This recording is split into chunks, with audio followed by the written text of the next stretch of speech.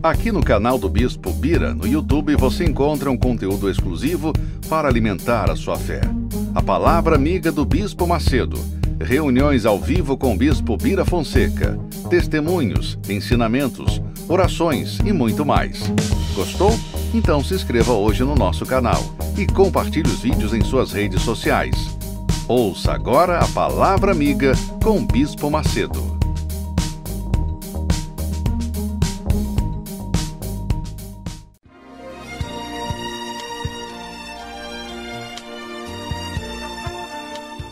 Momento em que a humanidade sofre por tanto desamor, pela fome, pelas guerras, os tóxicos alimentando a violência em nossa cidade. Esta emissora traz até você momentos de amor, paz e alegria, através de um programa feito com carinho para o seu coração.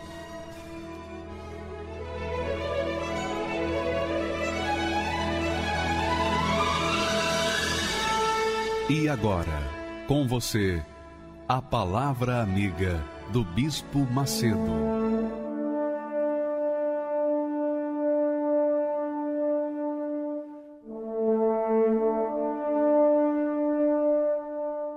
Olá, meus amigos, que Deus abençoe a todos vocês, em nome e para a glória do Senhor Jesus Cristo. Você seja abençoado, abençoado, para a glória de Deus para a glória de Deus. É isso que Deus quer que aconteça na sua vida. Que você seja, que resplandeça a glória dele neste mundo. Ele quer que você seja a própria bênção.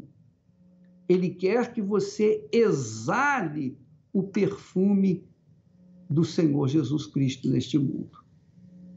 Então, esse é o objetivo de Deus para a sua vida. Mas, para que esse objetivo, esse sonho de Deus venha se realizar na sua vida, só mesmo o Espírito Santo, a descida do Espírito Santo sobre você. Só mesmo quando você for batizada, selada, carimbada com o Espírito Santo, você poderá ser a glória de Deus nesse mundo a glória de Deus nesse mundo. As pessoas têm que ver em você o Deus que você crê, o Deus que está dentro de você, que é o Espírito Santo. E a fé que o Espírito Santo coloca dentro de nós é uma fé sobrenatural. Uma fé natural produz maravilhas naturais, mas uma fé sobrenatural opera coisas extraordinariamente sobrenaturais. Porque Deus é sobrenatural. E para você manter um contato com Ele, uma comunhão com Ele, um canal de ligação direto com Ele, é preciso que você apresente uma fé sobrenatural. Se for uma fé natural, ainda que você creia em Deus, não vai funcionar, não vai trazer o sobrenatural para você. É preciso que você entenda que há que se ter uma fé sobrenatural para se alcançar as maravilhas sobrenaturais do Deus sobrenatural. Então, no testemunho desta senhora, nós vemos exatamente isso que nós estamos falando para você e você vai entender melhor. Vamos assisti-lo e voltamos já já. Meu nome é Nicole Godoy, sou de Goiânia, Goiás, sou empresária. Cheguei na igreja um pouco mais jovem, cheguei com toda a minha família e a minha família continuou. A minha mãe, logo quando nós chegamos na igreja, a minha mãe permaneceu e eu me afastei então, nessa época foi quando eu comecei a me envolver com as amizades, foi quando eu comecei a conhecer pessoas erradas e comecei a me envolver. Então, meus primeiros relacionamentos foram com namorados né, que estavam no crime. Então, eu namorei traficantes, foi quando eu comecei a conhecer as drogas. Eu tinha uma vida muito promíscua, né? Então, de segunda a segunda a gente saía para festas. Tudo que eu tinha curiosidade, tudo que eu tinha vontade, eu conheci. Né? Cheguei a usar todos os tipos de drogas. Meu nome é Cida Godoy, eu sou empresária e eu sou a mãe da Nicole. A Nicole, até os 15 anos, ela era uma, uma menina normal, tranquila, sem maiores preocupações. A partir dos 15 anos, ela começou a mudar o comportamento, ela virou a cabeça. E eu estava na igreja, estava na fé, lutando por ela, fazendo propósito. Quando eu recebi a notícia que a Nicole tinha se batizado nas águas, ali naquele momento eu vi a resposta de Deus. Eu tinha certeza que Deus ia me responder, mas naquele momento se concretizou. Eu vi, eu vi a resposta. Eu vi naquele momento que Deus me honrou. Porque a partir dali ela se tornou uma nova mulher. Eu priorizei o Espírito Santo, não priorizei minha vida sentimental, não priorizei meu casamento, não priorizei a nossa vida financeira. Era como para mim não existisse mais nada, existisse só o Espírito Santo. Então eu coloquei toda a minha força. E, meus pensamentos eu estava procurando honrar Deus em tudo, né? na minha conduta, no meu comportamento. Então eu buscava mais. Eu lembro que eu fiz um propósito de oração. Todos os dias eu orava uma hora por dia. Eu fechava a porta do meu quarto, eu ficava ali uma hora por dia orando, né? sendo sincera com Deus, para que Ele visse aquela intenção do meu coração. E naquele dia que eu estava ali fazendo a minha oração com Deus, eu tinha certeza que eu tinha honrado a Ele, de toda a minha força, de toda a minha alma, de todo o meu espírito. Eu tinha feito a minha parte. Então, naquele momento, foi quando Deus também me honrou. Naquele momento que eu estava ali a sós, não foi na igreja, não foi na reunião, foi no meu quarto. E naquele dia foi quando eu tive a minha experiência com o Espírito Santo. Foi quando dentro de mim me veio aquela certeza Hoje nós somos muito amigas, posso dizer que nós somos melhores amigas uma da outra. E hoje é muito prazeroso ver a vida dela com a família, a família que ela constituiu. Hoje meu, as minhas lágrimas são de alegria, de ver que vale a pena você lutar por um filho. É, não dá ouvido quando a pessoa diz que para o seu filho não tem jeito. Tem jeito sim, é o altar. O altar tem jeito para tudo. Tudo isso que eu passei, eu só tive condições de superar, de passar por tudo isso, de estar aqui hoje, falando dessa vitória, dessa, do que Deus nos honrou, graças ao Espírito Santo.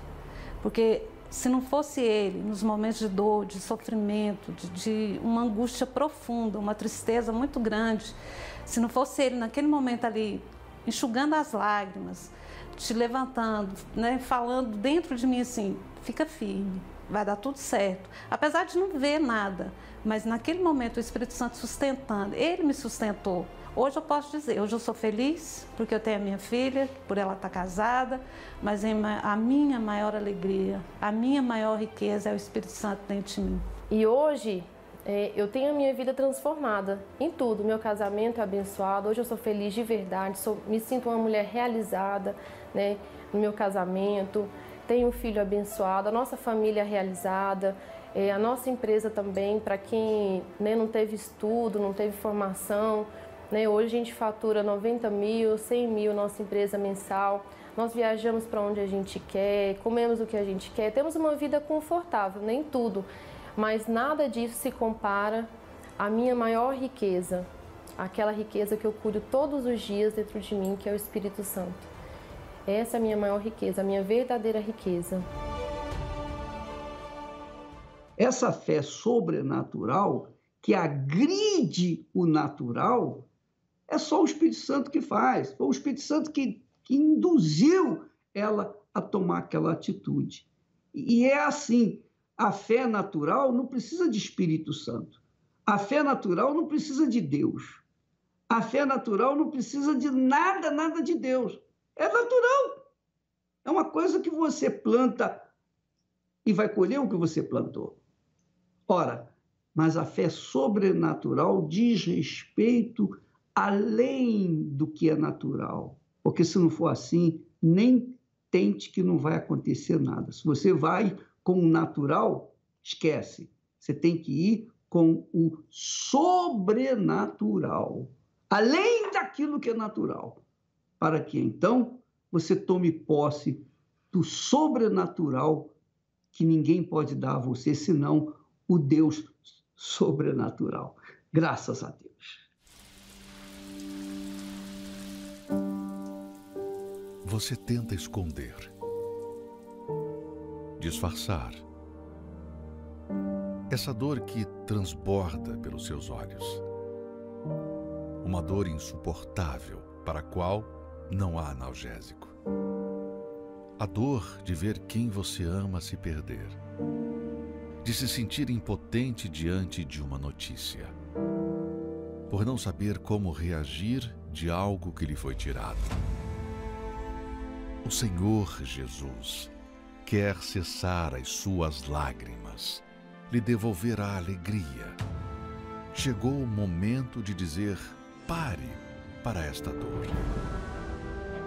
Neste domingo, 9 de maio, no Dia das Mães, o clamor pelos que choram, às sete da manhã, nove e meia e dezoito horas, no Templo de Salomão e em todas as igrejas universal do Reino de Deus.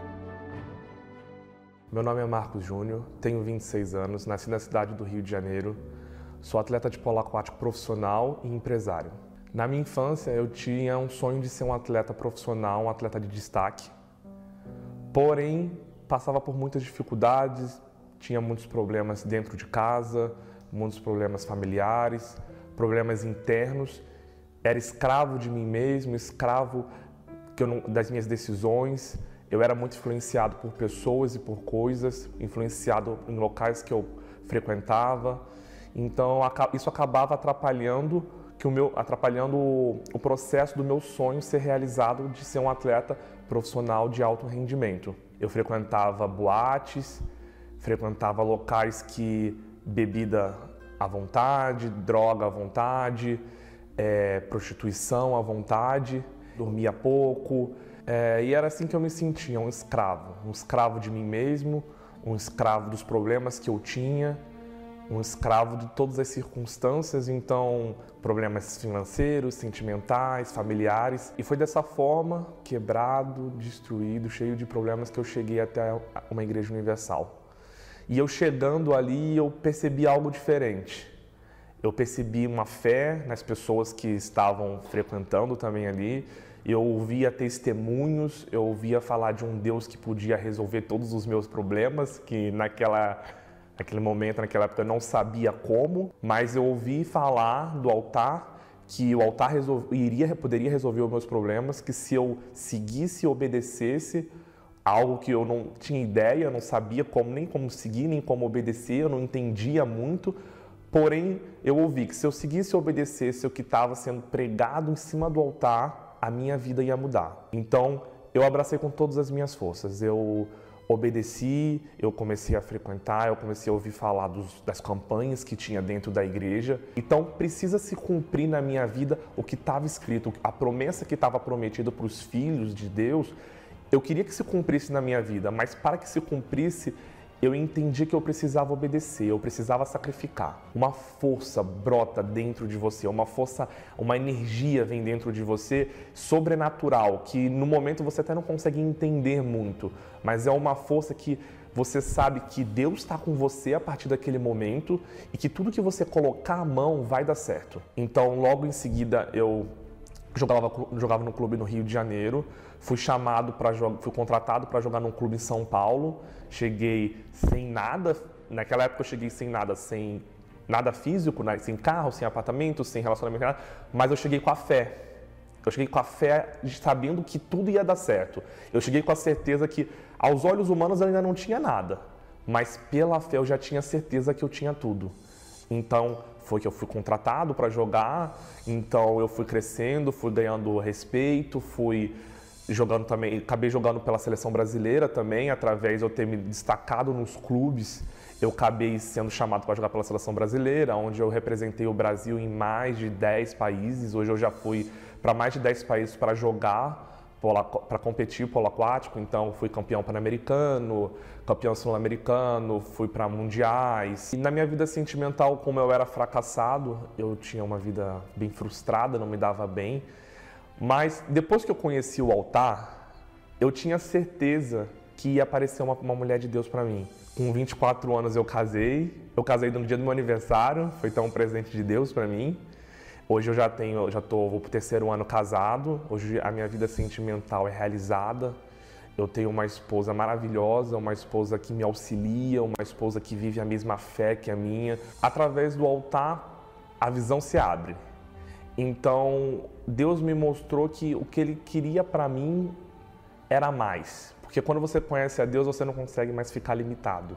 O céu é o limite, você não consegue ficar mais limitado. Hoje eu tenho apartamento, hoje eu tenho carro, todo ano quase eu viajo para os Estados Unidos de férias com a minha família. Tudo que eu conquistei foi através da minha fé, mas porque eu conhecia Deus. Porque quem me revela, quem me dá direção, quem me mostra o que eu preciso fazer, que negócio que eu preciso fechar, com que cliente eu preciso fechar, contrato que eu preciso fechar, aonde eu vou comprar. Tudo que me mostra é o próprio Deus, é o próprio Espírito Santo. Hoje eu tenho o Espírito Santo e quem me realiza de fato o interior é o Espírito Santo. Prosperidade não é só você ter o melhor carro, o carro mais caro que existe para você comprar no mercado. Prosperidade é você ter uma vida completa, você ter família, você ter saúde, você ter uma esposa quando você chegar em casa, você ter paz quando você dorme, você ter paz dentro de casa. Eu aprendi que prosperidade é vida completa. Então, tudo que eu tenho hoje eu devo ao Espírito Santo. Então, você reparou que o sobrenatural, o sobrenatural que você quer, que é uma vida além, muito além daquilo que você vê com seus olhos, para você, se você quer o sobrenatural, você tem que partir para o sacrifício sobrenatural, para a fé sobrenatural. Porque Deus é sobrenatural. A fé, obrigatoriamente, tem que ser sobrenatural. Porque se você apresentar a Deus o que é natural, você não vai alcançar aquilo que é sobrenatural. Para você alcançar o sobrenatural, você tem que apresentar uma fé sobrenatural. É óbvio. Porque para você alcançar o que é natural, então você tem que usar a fé natural. A fé natural é natural para todo, é inerente a todas as pessoas, todas as pessoas, católicos, evangélicos, espíritas, qualquer que seja religião, se tem religião, se não tem religião, ricos, pobres, a fé natural existe em todas as pessoas, todo ser humano. Mas a sobrenatural, que traz o sobrenatural, essa é uma fé que o próprio Deus dá para aqueles que têm coragem de se lançar sobre o, o sobrenatural. Então, a fé sobrenatural é aquela fé que você crê no invisível, você crê no impossível. E é uma coisa muito pessoal, é você e Deus, Deus e você. E essa fé sobrenatural é um dom, é uma dádiva que o próprio Deus, o Espírito Santo, dá para os escolhidos.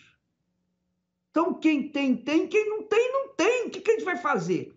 Se você crê, você recebe. Se você não crê, você não recebe. Então, amiga e amigo, nós queremos que você receba aquilo que é sobrenatural de Deus, porque Deus é sobrenatural.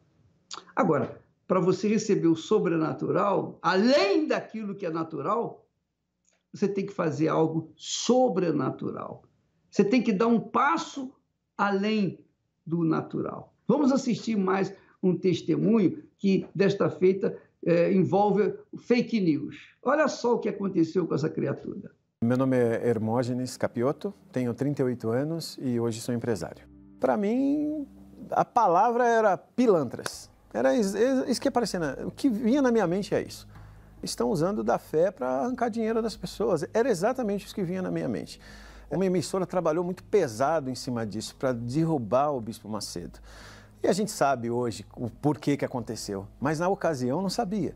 Então, para mim, o Bispo Macedo era uma, uma, uma figura de verdade. Me perdoa, Bispo, mas era uma figura asquerosa, uma pessoa é, manipuladora. Eu achava que ele utilizava daquilo para arrancar o bem maior das pessoas. Existe uma, um vídeo célebre que passava na, na TV, até um pouco tempo eu, eu cheguei a ver, dizendo: Odal desce. Falei, cara, esse cara é manipulador. Esse cara, ele, olha, olha como ele ensina. Então eu, eu, eu enxergava a coisa de uma forma muito negativa. Todas as vezes que, que alguém falava alguma coisa referente ao Bispo Macedo e normalmente era negativa, enchia o meu ego. Porque eu queria dizer, está vendo? Eu tinha razão. Quando o Bispo Macedo foi preso, um gozo para mim. Eu achei aquilo fantástico. Então quando você vê um, um indivíduo que vai parar na cadeia, você associa a um bandido. Eu ouvi falar mal e eu falei mal. Sabe a fake news? eu inventava sobre ele, eu falava mal sobre ele. Só que em, em, a minha esposa, através da TV, ela, ela viu um, um chamado da igreja e o pastor dizia: se você está com desejo de se matar, corre agora para uma igreja universal mais próxima de você.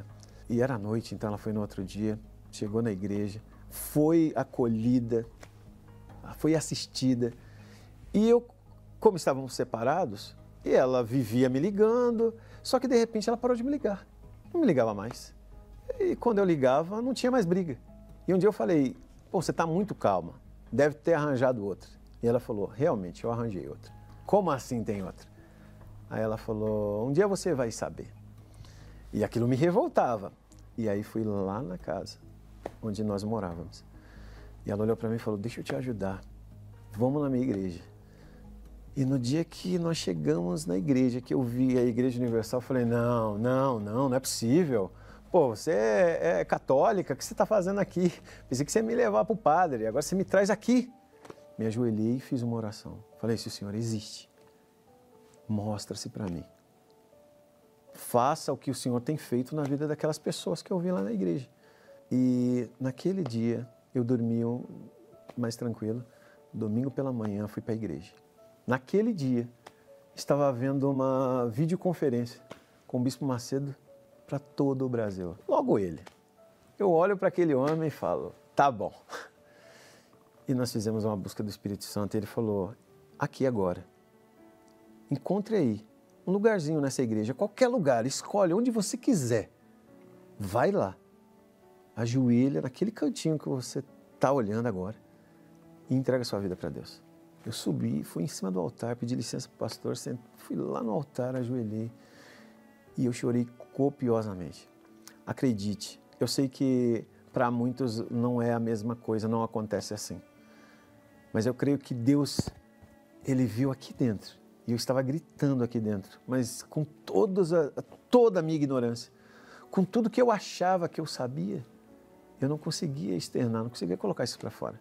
Naquela busca, naquele amor. É, é, é, muito forte isso. O Espírito Santo ele, ele abre o teu entendimento para você começar a olhar o próximo.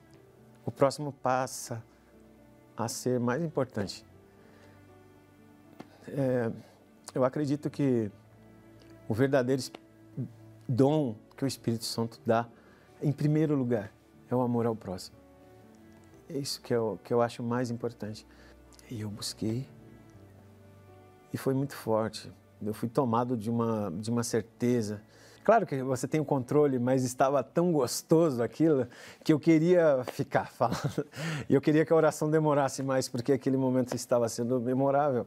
Porque aquele cara que era um drogado, cara, que eu fiz muito mal para minha família. Muito mal para eles. Minha esposa, ela, ela segurou muitas barras por minha causa. E hoje eu tenho a agradecer a Deus, eu oro pela família do bispo. Quando eu falava anos atrás que um dia eu estaria numa vida boa, meus amigos também me olhavam assim. No dia que eu falei, eu vou comprar um apartamento, a minha antiga gerente olhou para mim me vazando, como se eu não fosse capaz. Mas tudo é possível ao que crê. Essa é a frase que eu tenho para mim. E eu agradeço a Deus pela vida de todos. Não vou ficar rasgando seda para o Bispo Macedo, porque eu tenho certeza que ele não precisa disso. Deus abençoe a tua vida de forma extraordinária. Estou tão em paz comigo, parece até que não faz sentido o que eu tenho chorado, o que eu tenho sofrido. Hoje eu olhei o céu da minha janela meu coração a presença tão bela de Jesus sorrindo e dizendo pra mim: Vem, deposita em minhas mãos todos os seus problemas. Levante esse olhar, não chore, não temas, não perca essa fé que você tem em mim.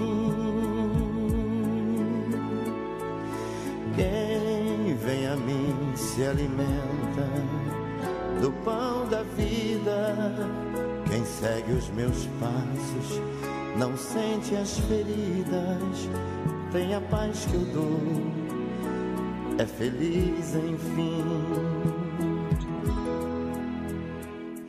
Senhor, perdoai meus pecados, me aceita a seu lado, me deixa tocar seu manto sagrado e a graça que eu peço terei na sua luz.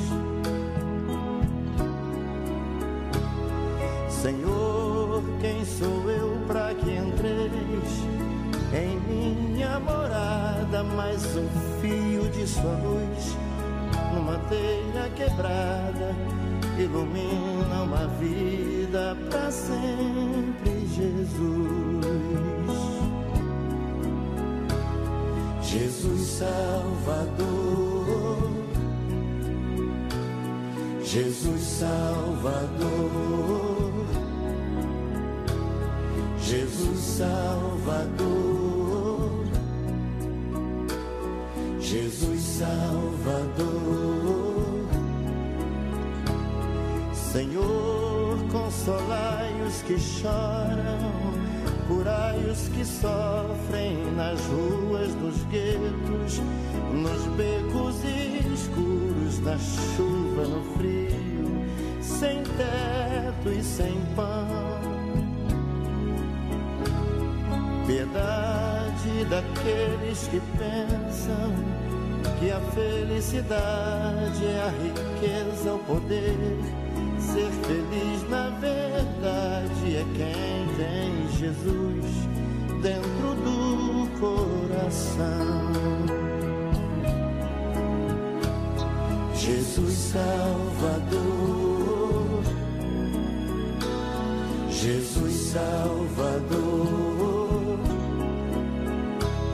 Jesus Salvador, Jesus Salvador. O Ministério do Espírito Santo é o mais novo livro do Bispo Edir Macedo. Esta obra irá ajudá-lo a entender quem é o Espírito Santo, o que ele pode fazer e por que precisamos dele. Uma excelente opção para os que estão em busca de uma comunhão mais íntima com Deus, pois este livro lhe servirá como manual para, enfim, conhecê-lo em sua plenitude. O Ministério do Espírito Santo. Adquira em uma Igreja Universal do Reino de Deus ou pelo arcacenter.com.br com frete grátis para todo o Brasil.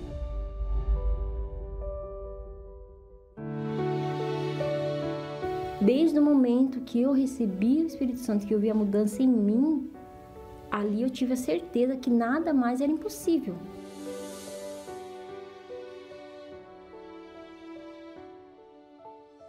Meu nome é Marjorie e quando eu cheguei na Igreja Universal, eu cheguei com depressão, eu não dormia.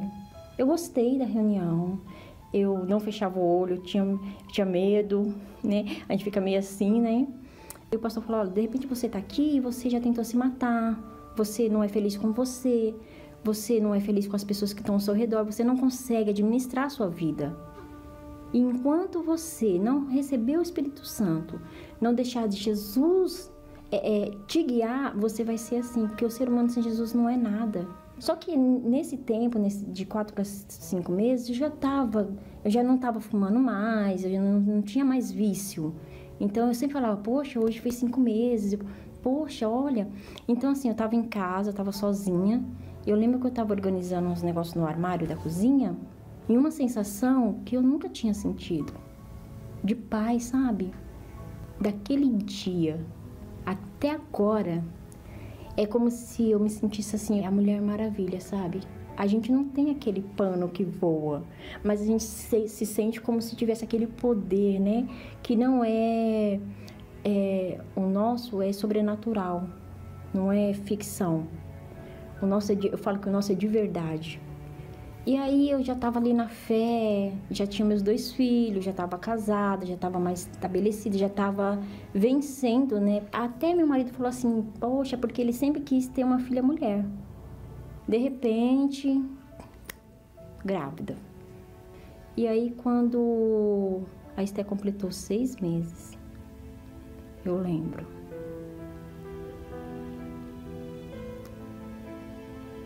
Tinha ido para a igreja, tudo maravilhoso.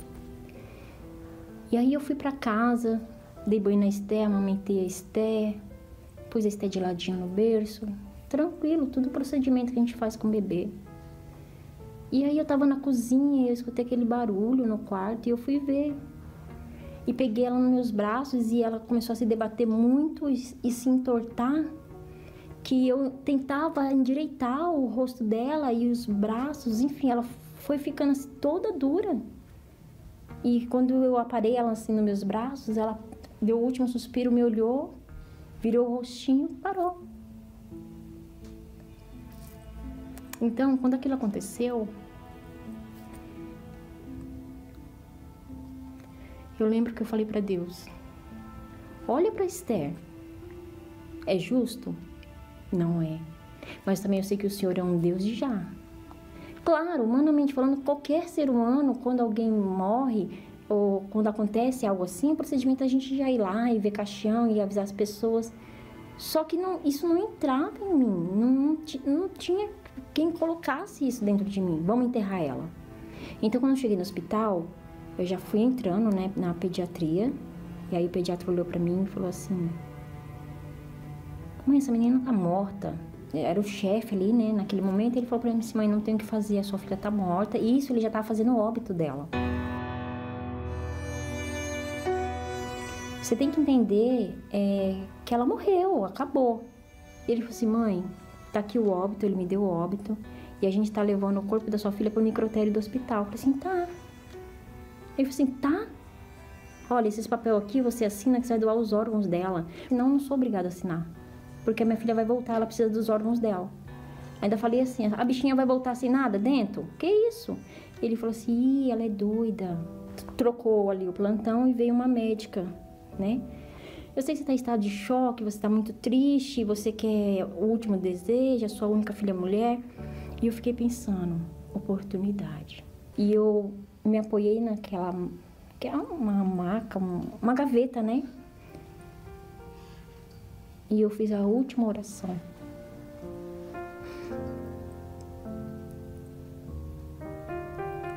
E eu falei para Deus: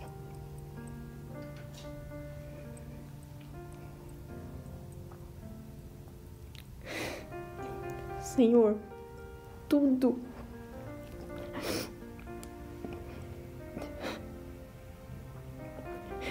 que eu tinha que fazer pela Esther, eu fiz.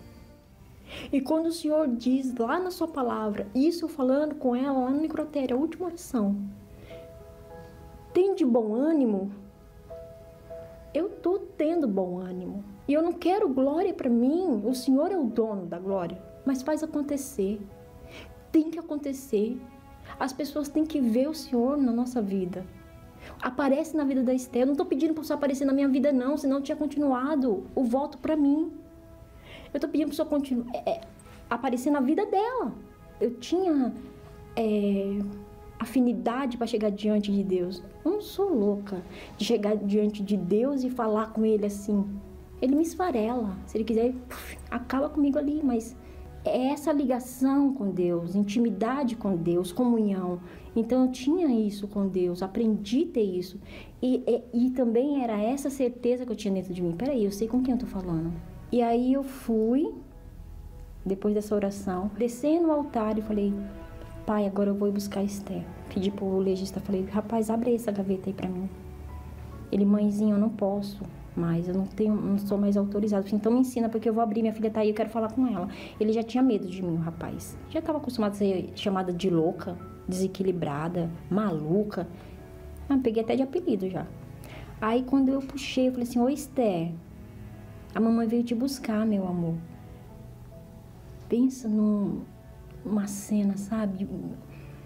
E os médicos começou a vir estagiário, médico, chefe, de outro plantão, de outro setor.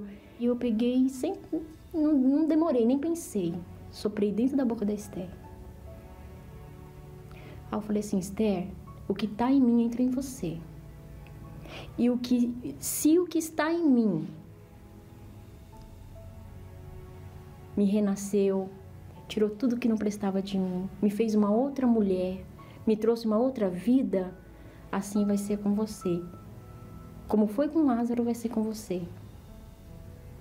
Pode voltar, filha, porque o que entrou dentro de você é o Espírito de Deus, é o Espírito que traz vida, é o Espírito Santo. E o médico aqui brigando comigo, bravo. Tá, tá. E de repente ele parou, me olhou nos olhos e eu já tinha percebido um. Aí eu olhei para Esther e falei assim: Espírito Santo trabalha por completo. Coração funciona, pulmão, todos os órgãos. Eu quero escutar você chorar, Esther. Vamos abrir esse pulmão. E fiquei assim, olhando bem no rostinho dela, ajeitei o cabelo dela. Aí ela abriu o bocão. Começou a chorar, começou a se mexer, se debater. E o médico falou assim: Quem é você? O que é você? Eu não sei. Mas se eu tivesse conhecido tantas mães como você, com esse espírito, eu não tinha dado tantos óbitos. Me devolve o óbito. Eu falei, não. Porque aqui eu tenho o antes e o depois. Foi muito forte para mim. Até hoje, eu tiro por mim e toda vez que eu olho para ela, eu falo: Meu Deus, o céu é tremendo. O que eu vivenciei com ela, não, não tem como trair, sabe? Esse Deus. Para mim não tem lógica assim. Ah, você deixou Jesus. Oi? Para mim isso é um xingamento. Como assim? Aí eu falo, tá louca? Hoje Esther tá com 13 anos, é uma menina saudável.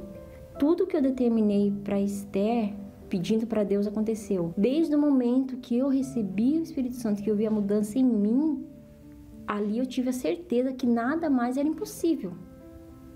Seria possível, porque Deus estava ali dentro de mim e está. Então, assim, o Espírito Santo é. É tudo. É, é exatamente tudo. Eu sempre falo que o altar e o sacrifício é a mão de Deus, ele te abraça. É o sacrifício e o altar. Até porque quando a gente faz um sacrifício, a gente vai para o altar. A gente não vai para a poltrona, a gente não vai para o chão, a gente vai para o altar. Então, o altar e o sacrifício são as mãos de Deus que te abraça e te fala: olha, filho, eu sou contigo.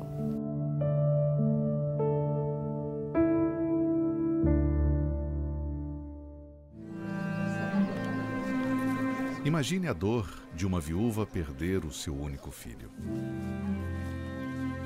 Foi assim que o Senhor Jesus encontrou uma mãe, levando um pedaço seu para o túmulo. Mas o que parecia perdido, sem esperança, foi devolvido a ela pelo Filho de Deus. Levanta!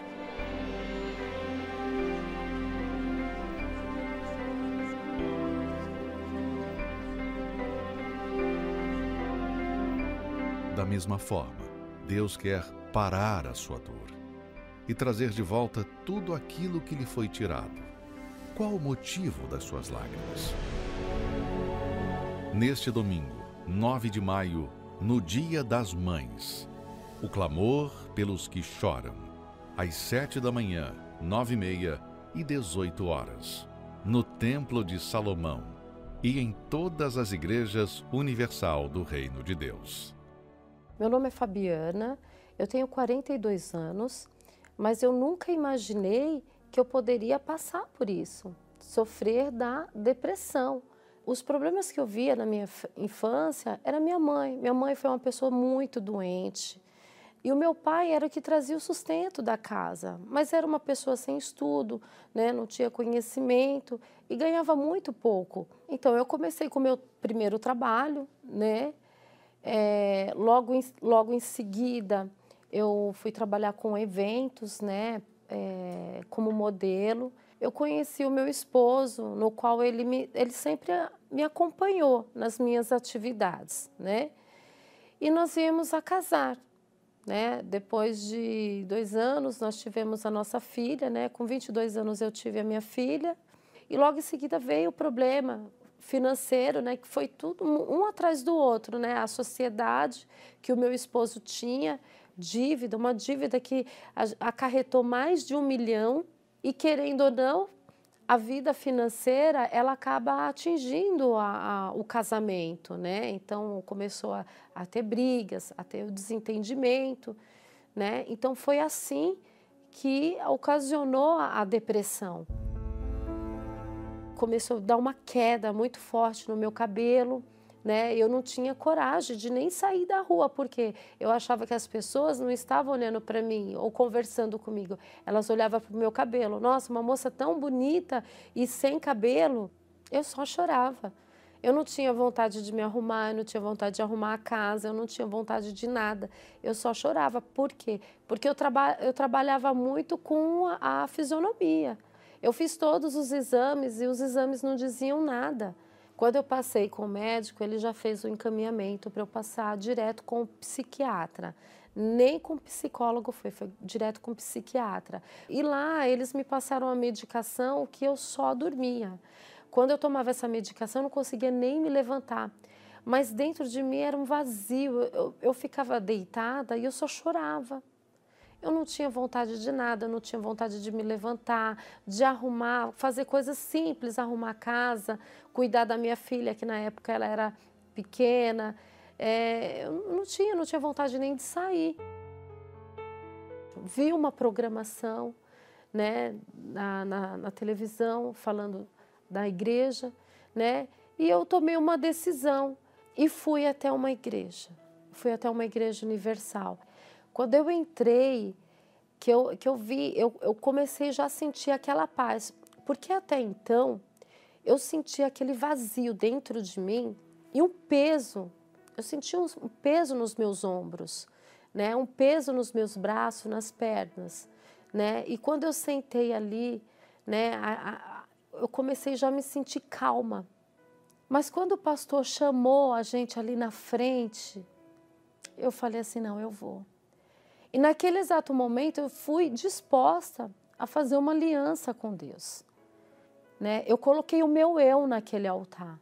Então, quando eu saí de lá, eu já saí diferente, leve, é, com uma força de que, que ia mudar, com uma certeza, a certeza que ia mudar.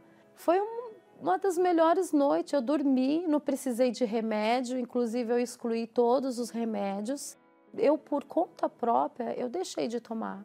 Eu tive entendimento que para eu permanecer firme e vencer todos os meus problemas, os meus complexos, eu tinha que ter o Espírito Santo, né?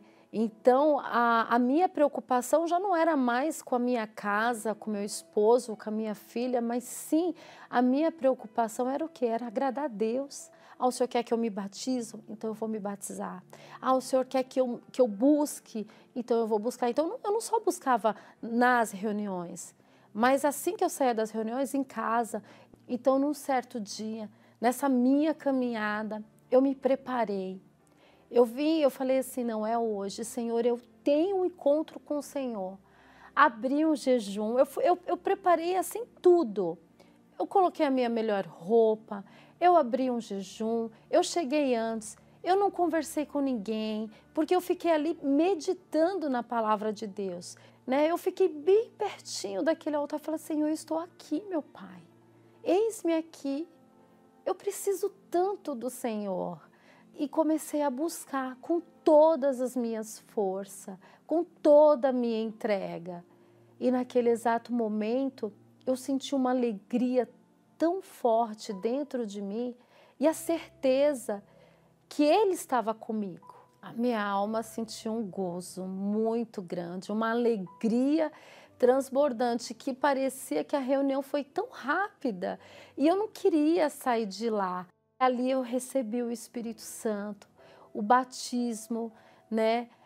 Falei em línguas, né? Então, assim, foi diferente. Aquela vontade que eu tinha de poder ajudar as pessoas. Poxa, se Deus veio até a mim, se o Espírito Santo veio até a mim, do jeito que eu sou, cheia de falhas, erro, por que, que eu não posso ajudar essa pessoa? Então veio esse desejo de ajudar e poder fazer mais. O próprio Espírito Santo, ele começou a me dar sabedoria para eu poder resolver aqueles problemas. E uma dívida de mais de um milhão que nós tínhamos, né? Através da sabedoria, da direção, nós quitamos essa dívida, né? Eu e meu esposo, eu pude ajudar ele, ele passou a me ouvir. Hoje eu tenho o meu próprio negócio, né? Tenho o meu próprio escritório, né? Então, a, aqueles, aqueles sonhos que eu tinha no lado, aquela situação, aqueles problemas, ficou tudo para trás. Quando eu olho no espelho, é, eu vejo uma pessoa, eu mudei totalmente. Aquela baixa estima que eu tinha, né, de, ver, de me ver no espelho, hoje eu não tenho mais. O Espírito Santo é tudo na minha vida. E eu entendo que sem Ele eu não sou nada. Eu não trocaria o Espírito Santo por nada. Nada é, pode preencher o que o próprio Deus me deu. Né? Eu não trocaria o Espírito Santo por nada deste mundo.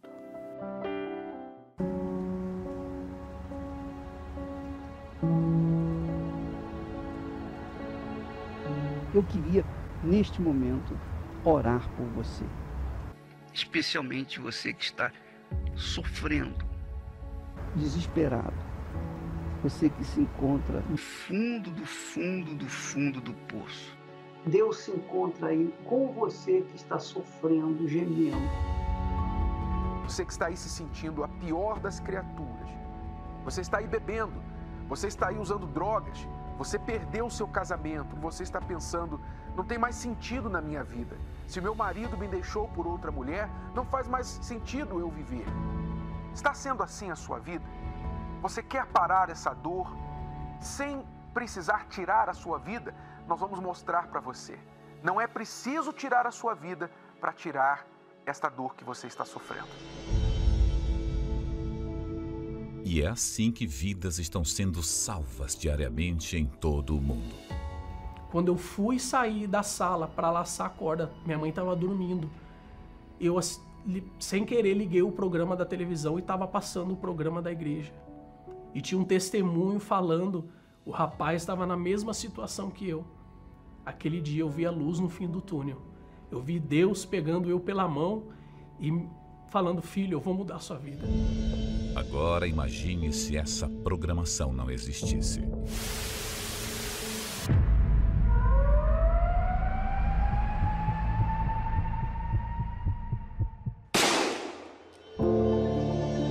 Só existe um motivo para esses veículos de comunicação permanecerem 24 horas por dia, levando vida, paz e socorro aos aflitos e desesperados. A sua contribuição. É por essas antenas que alcançamos os lares dessas pessoas que necessitam da sua ajuda. Desde a época de Jesus, ele já sabia que sobre o telhado o alcance de pessoas era bem maior. O que vos digo em trevas, dizei-o em luz, e o que escutais ao ouvido, proclamai-o sobre os telhados. Seja livre aí onde você está. Seja livre desse pranto. Seja curado da sua enfermidade, desse espírito de opressão, de desespero. Seja um proclamador do telhado e ajude você também a chegarmos àqueles que não sabem mais o que fazer. Você pode doar através do site universal.org/doar, pelo aplicativo do seu banco ou transferência bancária para uma dessas contas.